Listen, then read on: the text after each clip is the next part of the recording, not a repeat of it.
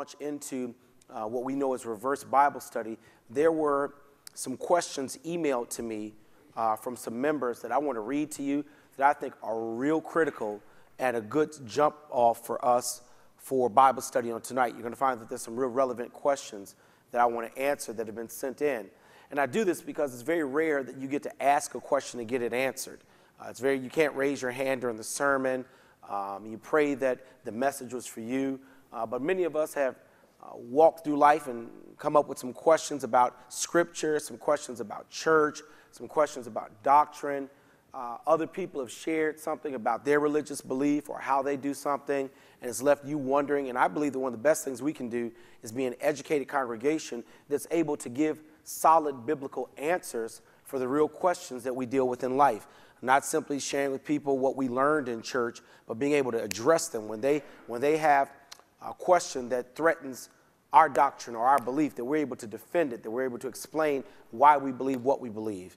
And so, because of that, I like to do reverse Bible study every now and then. So, I'm going to start with, I think it's about three or four questions that I want you to hear and understand why they're so critical, and then open the floor for the remaining time for any doctrinal, church, or relevant life issue questions that you may raise. Is that all right? Okay. Want to begin. Um, to me, this is probably one of the most often asked questions, at least in some way, shape, or form, and one that many of us are not prepared to answer. I want to read the question as it was sent in.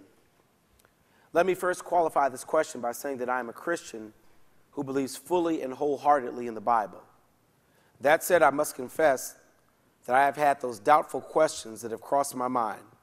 I think any person of faith has to at some point. But I've wrestled with the question how can I trust the Bible?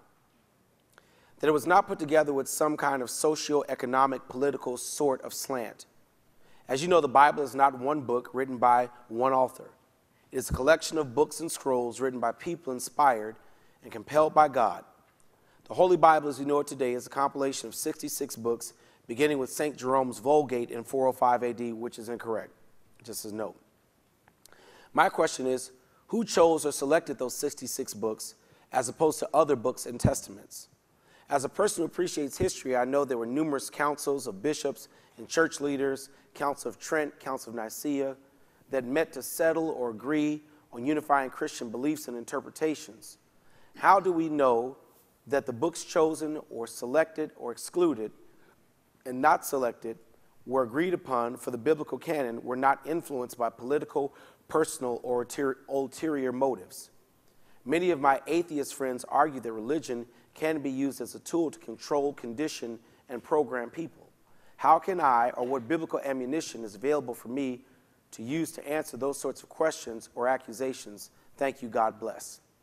Um, this, to me, is one of the most critical questions we face as Christians because it's a question about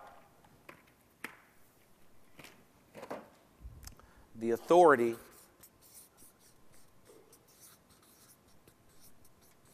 and authenticity of the Bible. Very quickly, why is it real critical that we as Christians, believers, be able to defend the authority and authenticity of Scripture? Why do you need to know how to answer that question that was just asked? Why do you need to know the answer? It's what we base our salvation off of, right?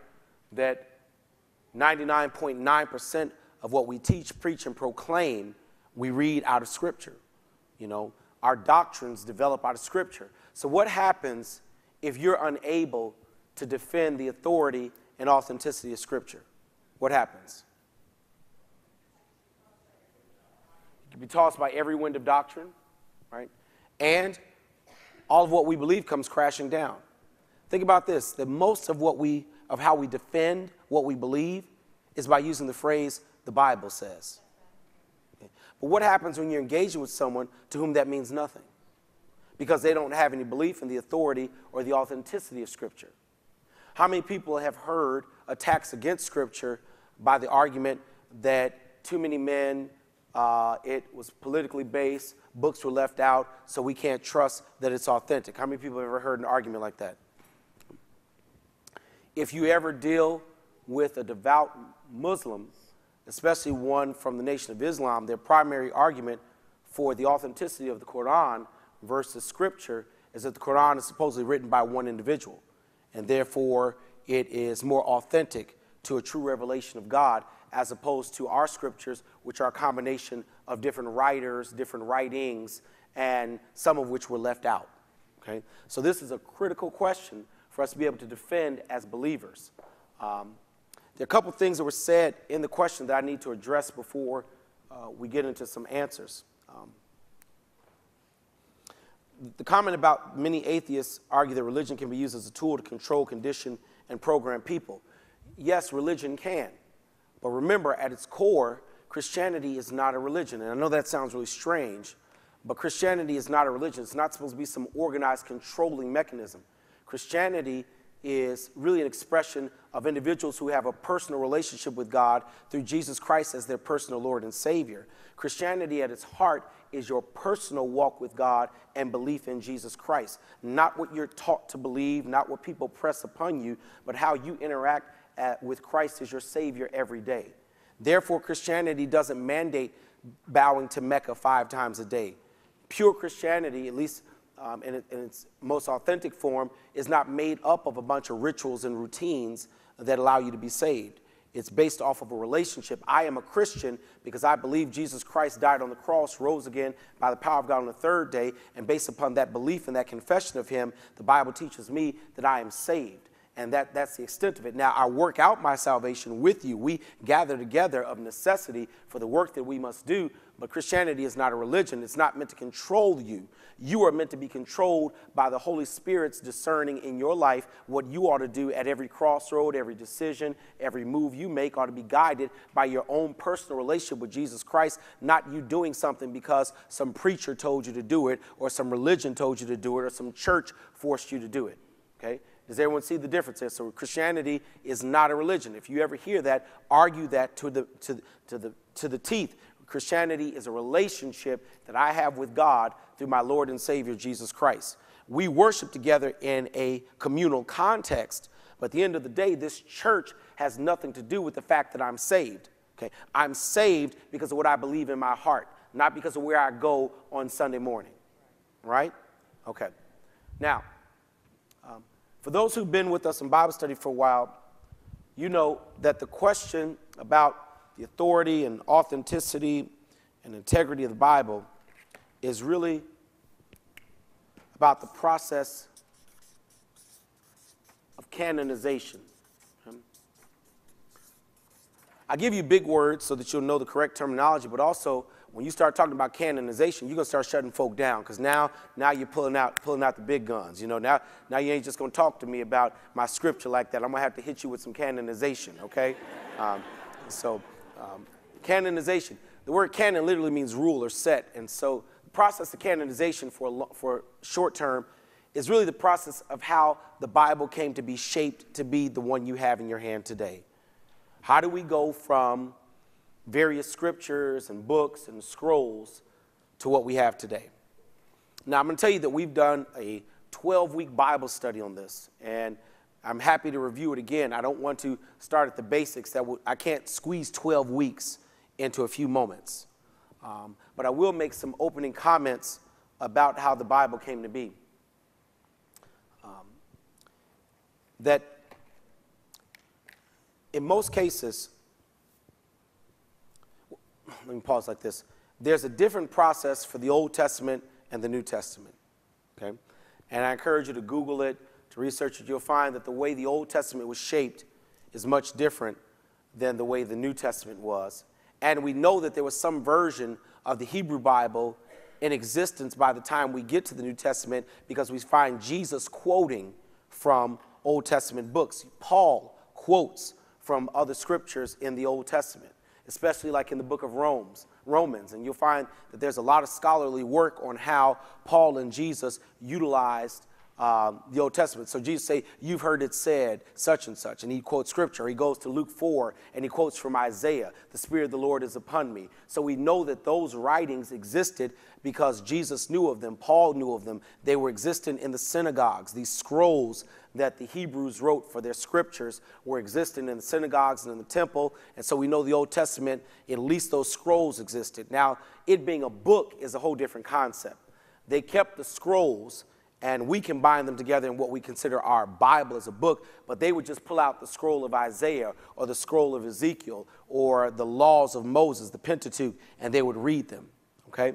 Um, those laws of Moses, we know those exist even in the Old Testament. Josiah the king, while he's reforming the temple and cleaning out the temple, finds the Pentateuch as a scroll and reads through it and tells Israel, we got to make some changes. So the Bible develops over a long history and period of time. The Old Testament, whatever form it was, we know that those scrolls are existing by the time we get to the New Testament. Now, in the New Testament, this way things typically go. Um, there would be those who would take upon themselves to write what they felt. Okay, gosh, this, all right, I'm backtracking. The gospel is different than the letters, right? The Gospels are attempts to record the life of Jesus Christ, right? two of which are supposedly written by followers of Jesus Christ. Which, which two Gospels are named after disciples?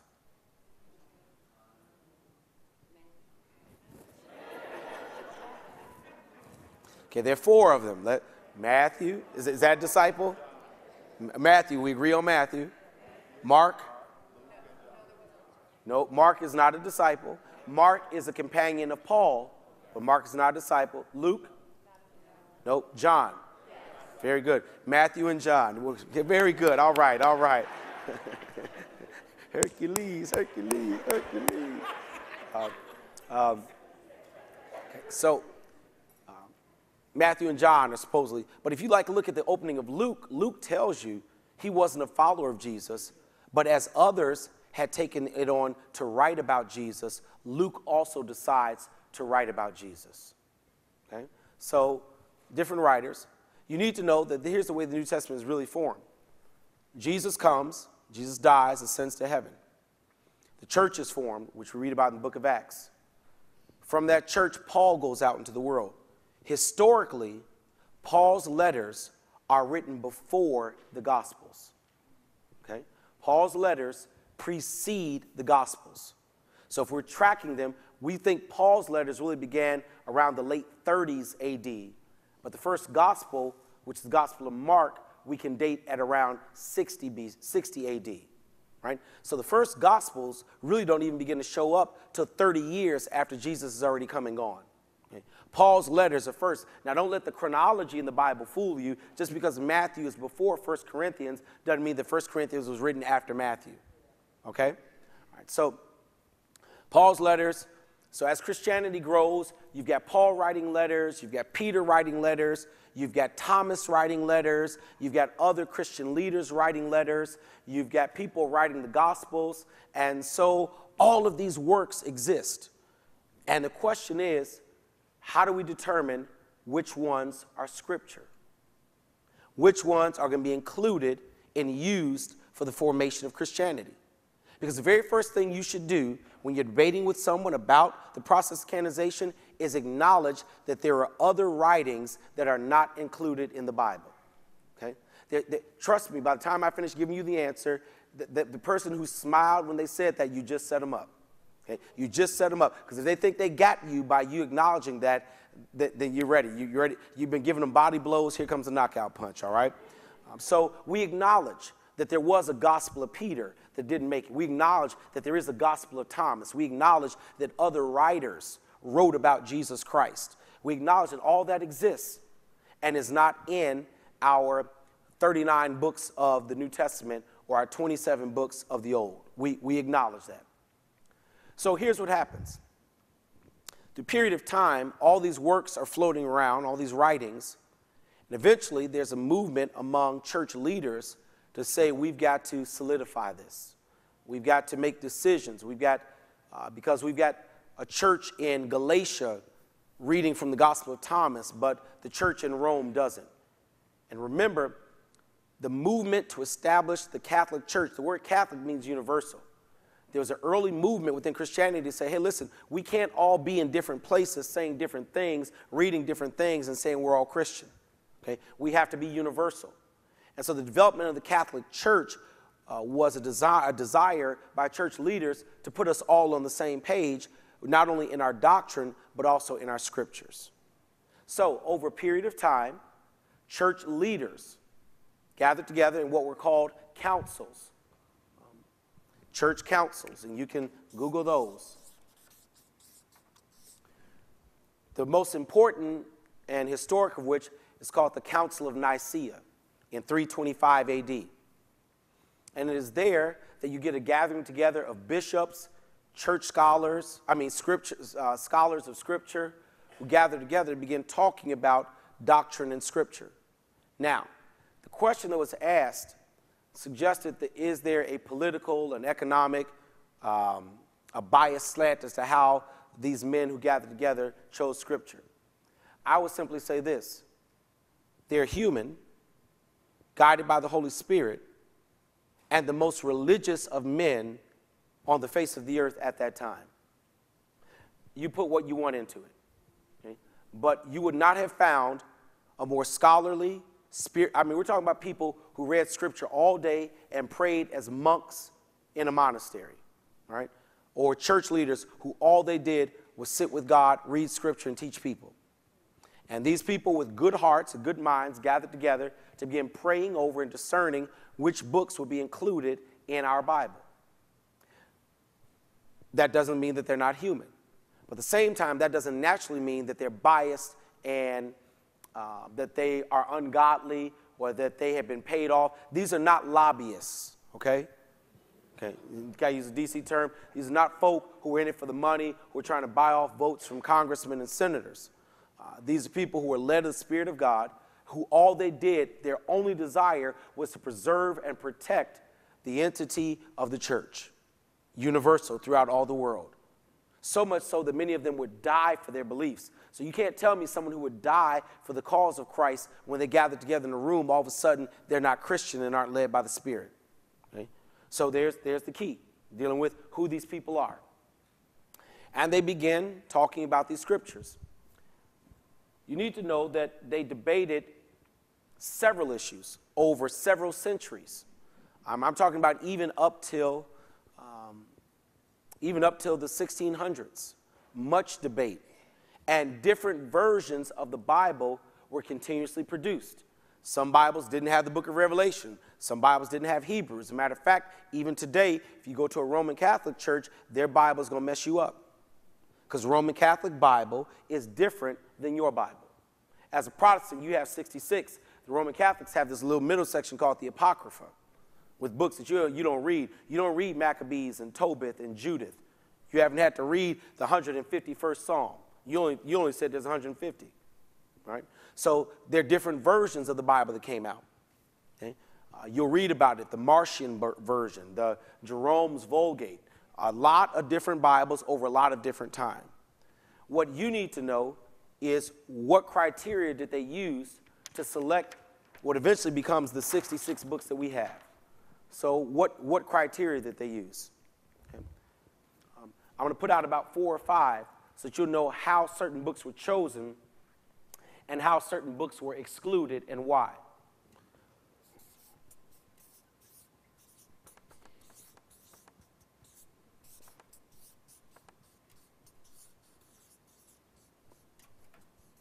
One of the very first criteria used to say, okay, this in, this out is apostolic authorship. Those who made decisions about Scripture believed that the scriptures that were most authentic were the ones written by the actual apostles. Right? Now, why would, why would that have more weight than, why, why would a writing by an apostle have more weight than a writing by one of his disciples or students or followers or Joe Blow who got saved 30 years later and wants to write. In the back, my sister, why, why would you say the apostolic authorship is important? Hmm? First-hand account, closer. The apostles are closer to Jesus Christ.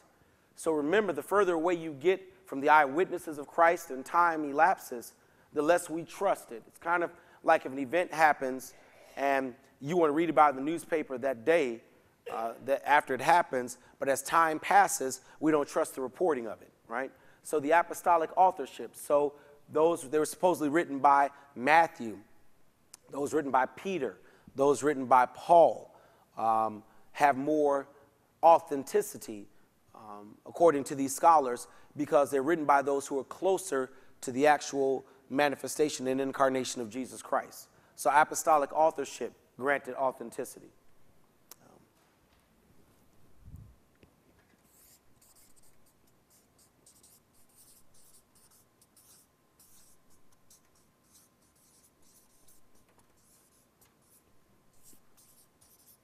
Universal liturgical use. Universal liturgical use. Pastor, what do you mean by that?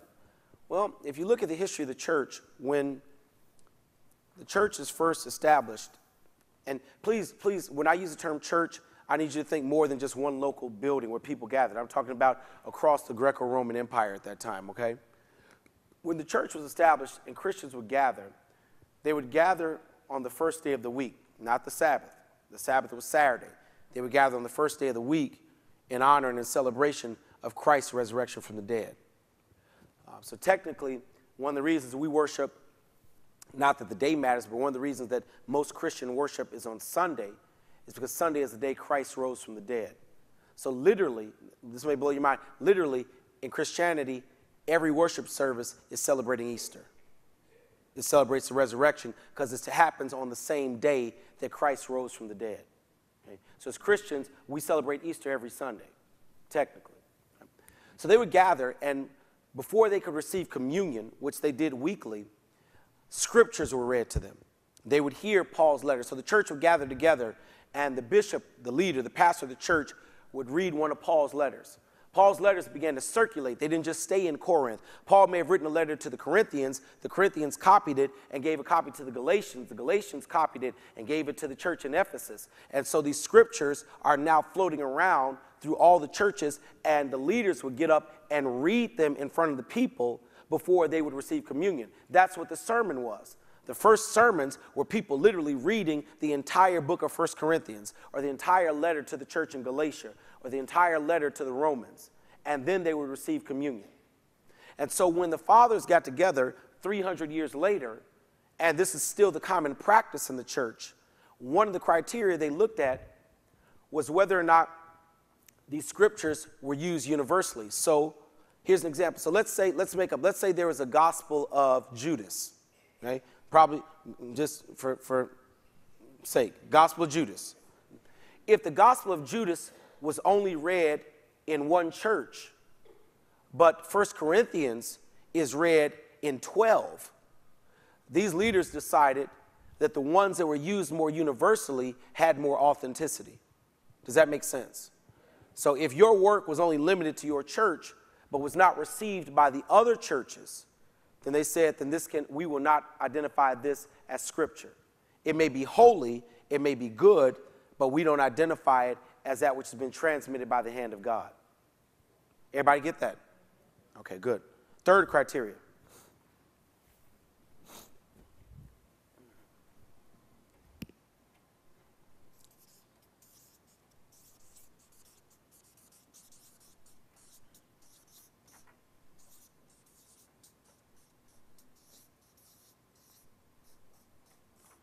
Alignment with orthodoxy.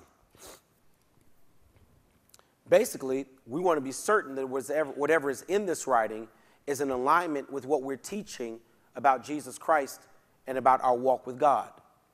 And so, if there were writings that suggested that uh, Jesus is not Lord, those didn't have a good chance of making it in, right? So, to be certain that whatever is included is in alignment with what the church is now considering to be its common doctrinal beliefs. So, understand this is make it deep. So, when these councils met, they were also debating doctrine. They were debating issues about the Trinity. They were debating issues about when does Christ become Lord. When does, or do we say that Jesus is God? So they're debating these things, and as they're coming up with answers for the church, they want to be certain that the scriptures that they say we will use are in alignment with the decisions they believe God has led them to. Does that make sense? So they're debating scripture and doctrine at the same time to be certain that they're in perfect alignment with each other. So that what we teach and we believe, we know comes out of scripture. So alignment with orthodoxy.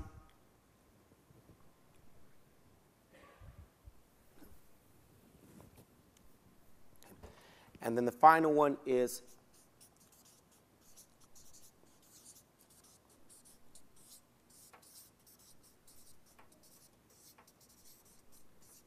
internal co- consistency, meaning that the book didn't contradict itself, that the writings uh, or, the, or have this person wrote was not contradictory. So let me give an example. One of the reasons Paul's works are so widely accepted is because Paul's theology and doctrine never changes. Right?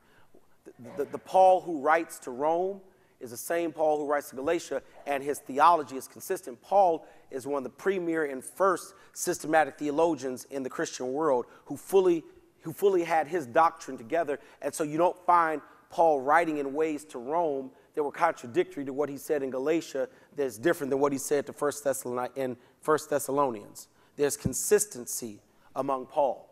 And so we looked for consistency in these writings. Um, as a result, um, we have landed in a place where I can tell you three things definitively about your Bible. Uh, regardless of how many people wrote it, regardless of what process was used. Um, and just so you know, anyone who wants to argue that the Bible is not authentic because there was this process of deciding is someone who doesn't acknowledge the authority of the Holy Spirit. Right? The Holy Spirit is able. Matter of fact, Jesus says the Holy Spirit will grant us wisdom the Holy Spirit is able to work upon human flesh and grant it wisdom to come up with a product that is pleasing to the Lord. How many people believe that about the Spirit, that the Holy Spirit can do that, right? The Holy Spirit can use human. You know how I know that? Because He uses you. And you about as messed up as you can be. That we're about as imperfect as we can be, but somehow, somehow God takes this struggling young preacher from the south side Chicago to preach His word and people get saved and enter an authentic relationship with the Lord every week in spite of the fact that I'm not a perfect vessel. And if God, if we believe that God can do it in our local church and the Holy Spirit can move in this congregation, why would the Holy Spirit all of a sudden be, not be able to guide 12 councils who gather together to make decisions about Scripture? Okay. So there are three things I can tell you definitively about your Bible that I want you to be able to defend.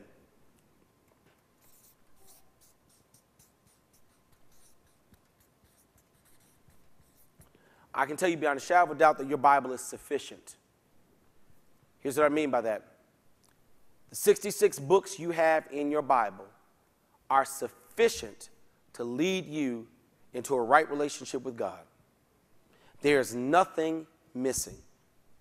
There may be other materials out there that have some more details or say this and that, but there's nothing these works that people quote that aren't in the Bible contain that all of a sudden will give you enlightenment that your walk with God is insufficient.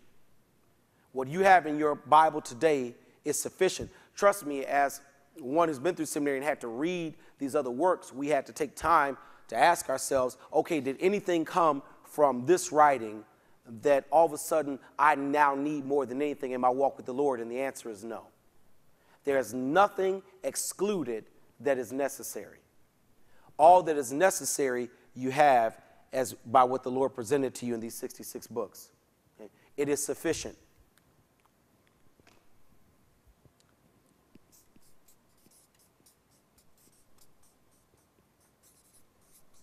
It is infallible,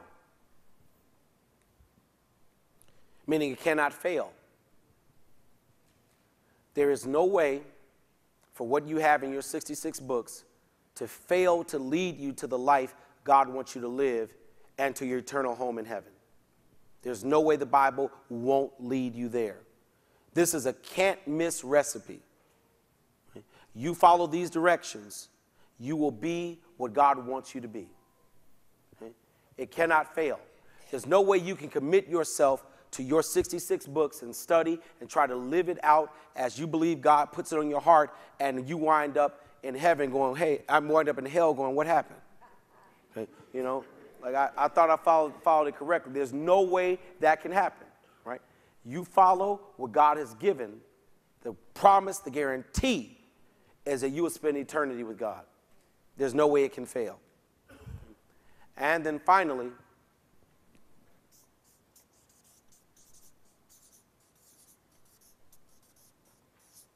your Bible is inerrant. Now, let's just take one quick minute to um, talk about what we mean by inerrant. Because uh, inerrant, by a technical definition, you know, means to be without error. And if you hold to that as a literal definition, folk are going to jack you up all the time because they're going to start pointing out contradictions in the Bible, right? And try to make you doubt the authority of the Bible because the Bible says this in one verse and says this in another. And um, it's crazy to me how people who are against the Word of God or don't believe in the authority of the Bible can spend all that time studying Scripture and miss it. Like if you if you if you're astute enough to show me how this verse is different than that verse, then I got issues with how you can read all of that and miss what God was trying to say to you, right? Okay. Um, what does it mean to be inerrant? The Bible does not have any error in what it affirms. Not necessarily I need another marker. Not necessarily what it reports. Okay? So here it is. There's a difference between what it affirms and what it reports. The Bible, and you've heard me say this a thousand times, is not held to the same scientific and journalistic criteria that we hold for the Washington Post. The writers were not trying to give you objective history. They were trying to affirm God's movement in history, but they cared not whether or not it was Josiah instead of Jerusalem, right? So the writers are human and are affirming truths about God while trying to report historical fact, but the Bible is not a history book. And you can't allow someone to hem you up in a debate and a discussion because they want to debate the historicity. They want to say, well, because we found dinosaur bones, the whole Bible is irrelevant, right? Okay. Mo, uh, Moses wasn't an archaeologist.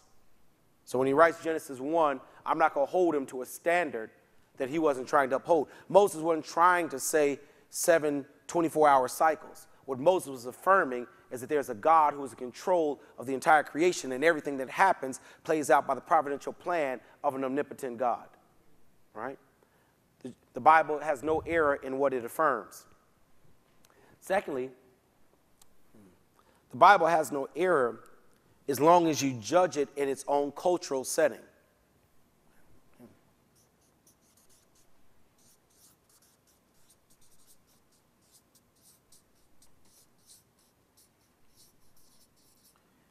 It has to be judged in the context of the culture of the people who wrote. God did not take Paul and lift Paul out of the Greco Roman first century world to just give Paul universal truths that would apply to all places at all times without some context. Paul is a first century Jewish Roman citizen, and he writes from that perspective. The same way God doesn't lift me out of my Afrocentricity as a preacher, the same way God doesn't delete my South sidedness. Am I being used by Him? The Lord uses us as we are made and in the world in which we live. Right?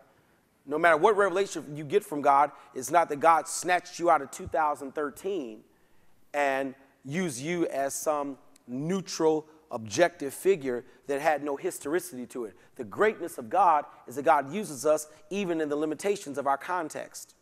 So, Paul will write about slavery because that's the world Paul lived in. Paul will be gender biased because that's the world Paul lived in. Okay? Moses has limitations of his understanding of history because that's the world Moses lived in. That's who Moses is. Okay? And we can't expect even if being used by God, to all of a sudden mean that that erases who we are in context. So you have to read the Bible in the context of the culture in which it was written, if you're going to judge it.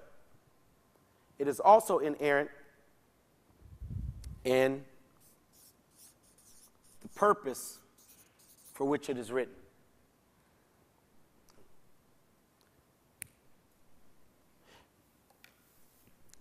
Real quick, go to the end of the Gospel of John. I think it's like John 20.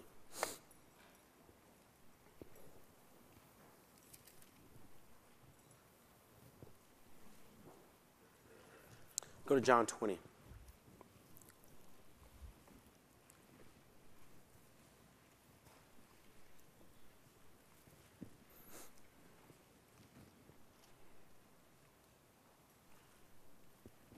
Got John 20? Let's start in verse 30. John 20, verse 30, you with me? And truly, Jesus did many other signs in the presence of his disciples, which are not written in this book. But these are written that you may believe that Jesus is the Christ, the Son of God, and that believing you may have life in his name. Let's just talk about John, John's gospel for one minute. Here's what John blatantly tells you there are many things Jesus did I didn't write about. This is not an autobiography. This is not a historical documentation of everything in the life of Jesus. If you're judging it as such, then you're, you're, you're not hearing what I'm telling you. I'm telling you, I didn't write everything. Um, prime example it never rains in the Gospel of John. Does that mean it never rained in Jerusalem? No, it rains. John just doesn't record it. So you can't judge me by a standard that I'm telling you I'm not trying to live up to. It's kind of like you getting evaluated on your job for something that ain't in your job description. Now, that's not fair. I'm not trying to do that. So I shouldn't be evaluated on what I'm not trying to do. John is not trying to be historically objective. He says, I'm not giving you everything. And then he says, What I did write, I write for one purpose that you might believe that Jesus is the Christ, the Son of God, and that believing you may have life in his name.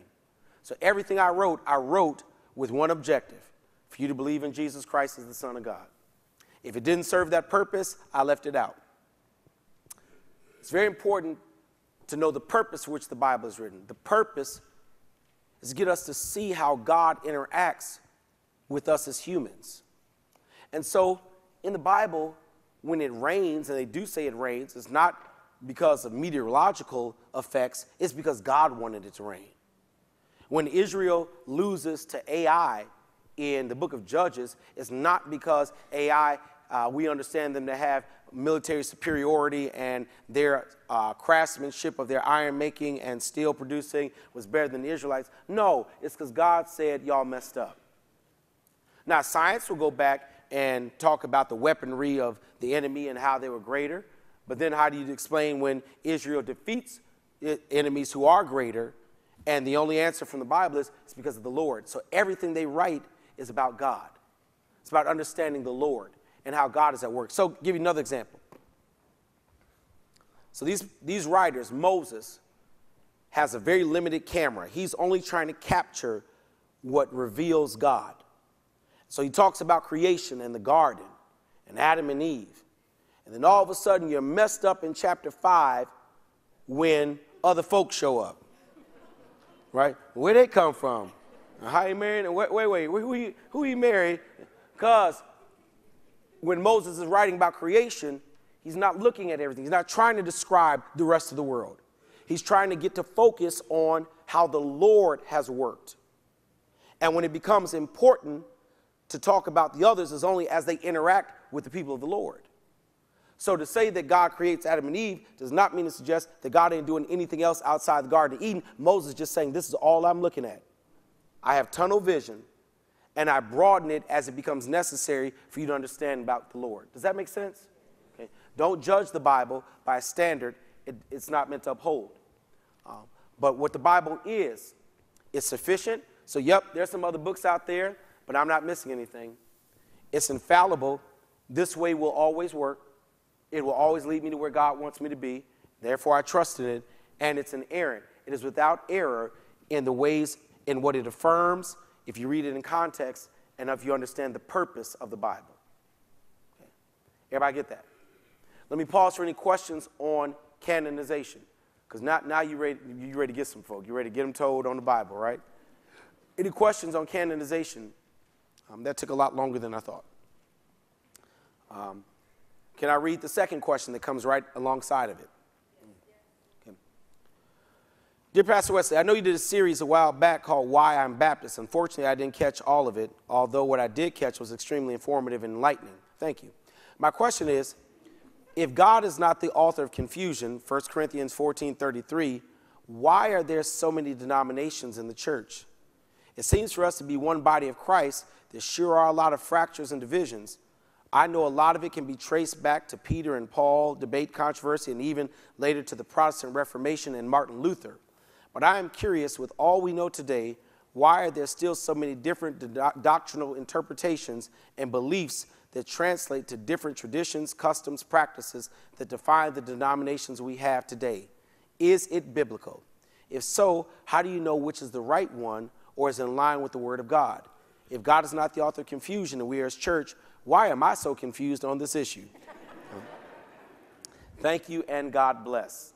Um, well, why are there so many denominations in Christianity?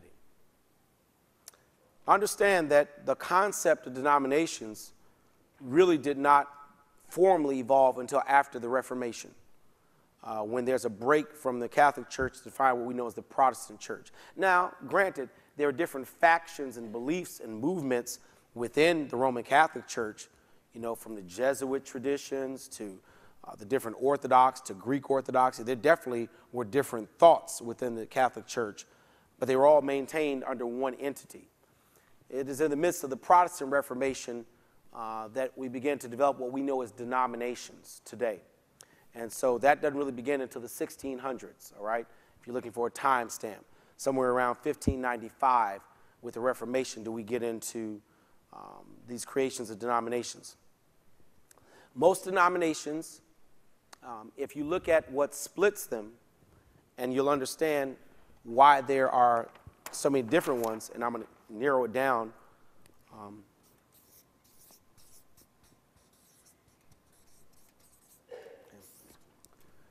some of the, most of them are divided around doctrinal issues, um, things that are believed and taught. And the doctrines can really vary on, on a few different things. Um,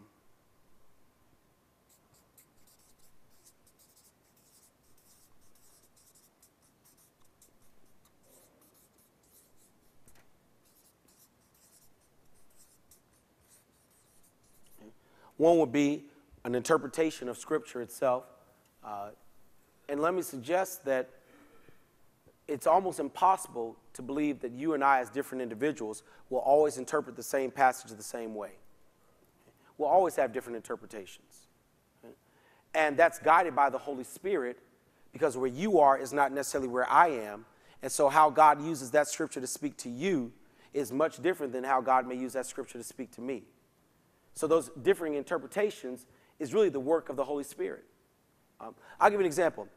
When I stand in the pulpit to preach, I'm pretty much certain I know what I'm trying to say, right? It may not always get out, but I'm pretty much sure I know what I'm trying to convey to you.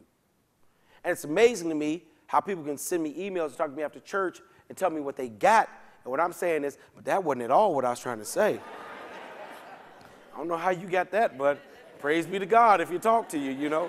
Um, just totally different interpretations. We had an exercise in seminary once. There were 13 of us in our preaching class, and the teacher gave us one text, and we all had to write a sermon on it, and you had 13 different sermons.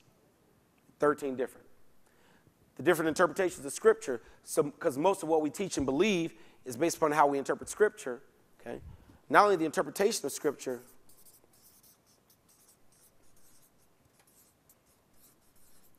but the use of Scripture.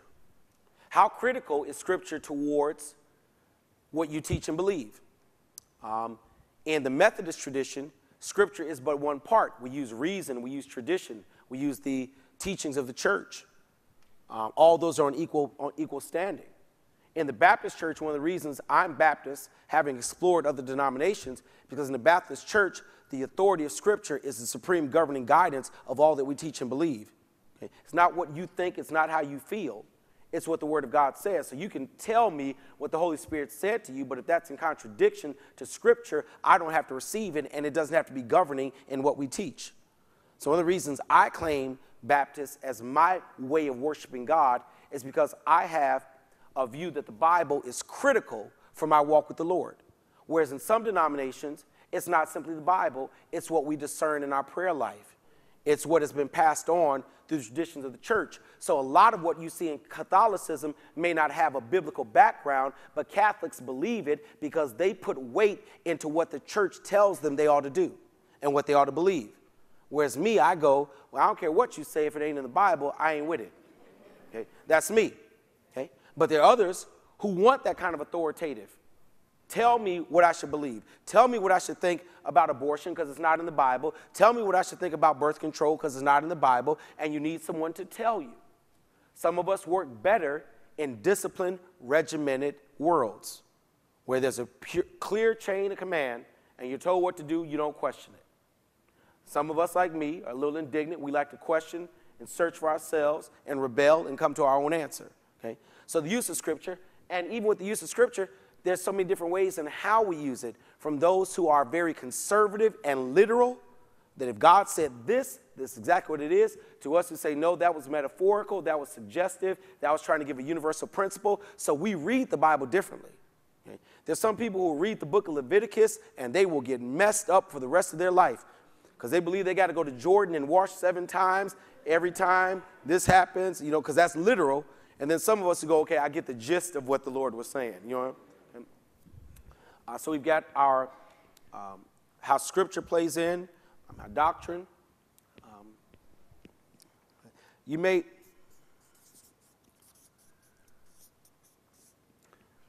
our emphasis in our saying of the Trinity plays into our different denominations. Trinity, God the Father, God the Son, God the Holy Spirit. Danny, in Catholicism, which part of the Trinity is emphasized the most? God the Father. God the Father. In mainline Protestantism, where you are, which, which part of the Trinity is emphasized the most? Jesus, Son of God. We're going to preach about Jesus every Sunday. Okay, you all know old school Baptist sermon, no matter what the sermon was about, you know where it was going to end. right, right, right, right, right, right. You know, you can preach about Mo, you can preach about Abraham taking Isaac up the mountain to be sacrificed, and a good preacher, and I see another mountain where a son was being led up to die. you know, we, we gonna get to Jesus, right? Okay. Now, in Pentecostalism, what part of the Trinity is emphasized? Holy Spirit, right? God, God, God, you got Jesus, got the Father. Uh, are, are you filled with the Holy Ghost? By the evidence of speaking in tongues. Do you have the gifts of the Spirit? And and those, believe it or not, this plays directly into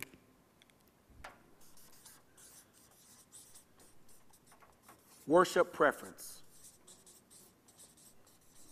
How you like to worship plays directly into it. Give you an example. Pentecostals don't have hour power. Mm-mm. Mm-mm because we tarry. Part of Pentecost, part of the Holy Spirit demands you tarry until he come. And we will tarry until he comes. There's a reason Catholic churches get out in under 60 minutes. we ain't got to tarry. We, just, you, know, you know, we go through this liturgy, and some of worship preference is dictated by personality, which you can't take away from we have different personalities. And that sometimes shapes how we prefer to worship, and how we prefer to worship gets into our doctrine. Right? If you're a corporate mover and shaker and time is important to you, you like. Okay? Within this whole church, there, there are different, different opinions. There's some of you all who can't stand September because that means hour power is over. And we like July and August, Pastor, that's fine. And then I have members who can't stand hour power. Right? That, that isn't spirited enough. We shouldn't be rushed through service. Um, some people need charismatic. You're, you're, that's the way you worship God. You want to stand, you want to lift up hands, you want to be vocal. And then you go to some denominations where it is an unwritten, we, we don't worship like that. And it's not that it's wrong, but we're more contemplative. Give you another example. In some churches, okay, and you can look at the architecture of the church and tell this. Okay, the pulpit is center in a Baptist church for a reason, because the preaching of the Word of God is one of the center moments of worship. Okay? We don't worship without the Word of God being proclaimed. The choir was nice, praise dancers did a good job, but if ain't no preaching, right? This ain't this wasn't good church. And he better be preaching. I don't know who your he is, but he better be preaching. Okay. Um, now, you can go to some churches, the lectern is on the left or the right, and what's in the center is the communion table.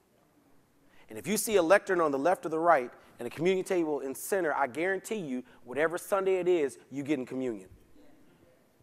Because that's what's center in the worship. Okay? And so you'll find more of the denominations that are closer to our Catholic side, like our Episcopalian brothers and sisters. They come to church to get communion.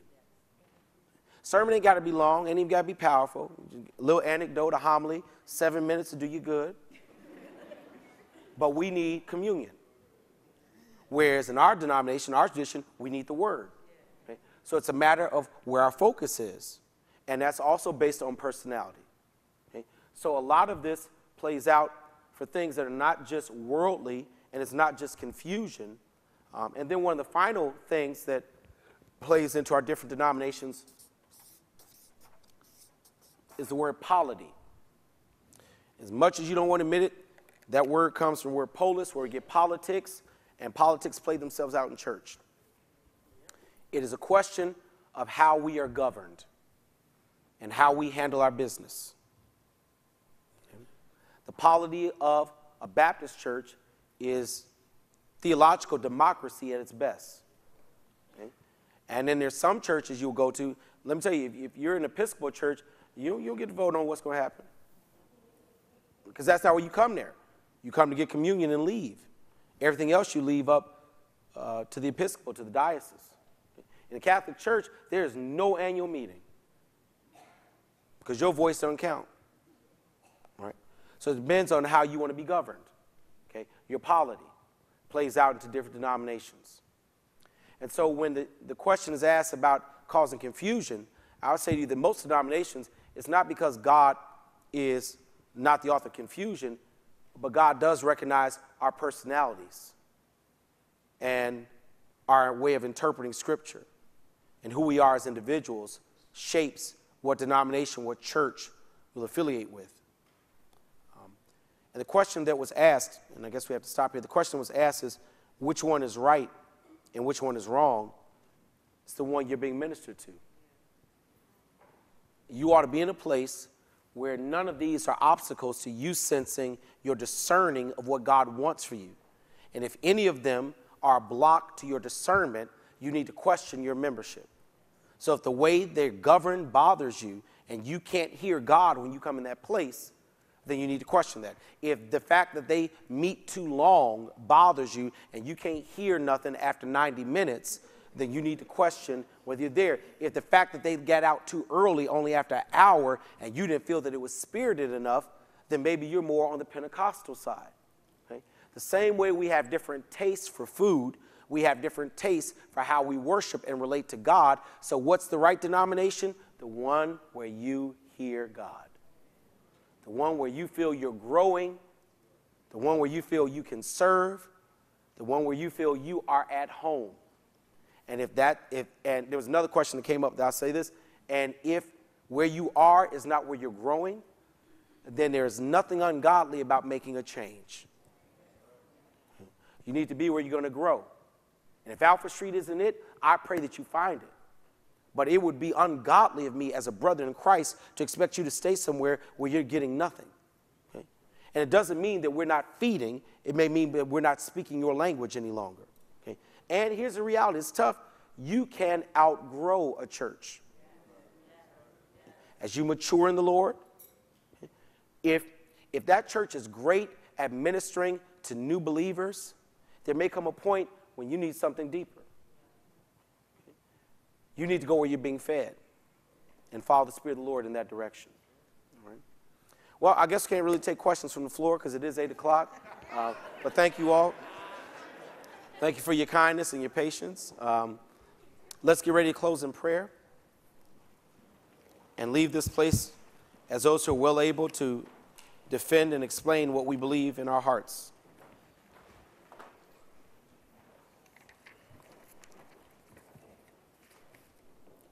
You all know one of the things I like to do before we close is lift up the names of our sick and our shut in, especially those who are in the hospital or who are preparing for surgery. So if there be a name of someone in, in that state, if you would just lift them higher now, God hears the symphony of our names. Who are we praying for tonight?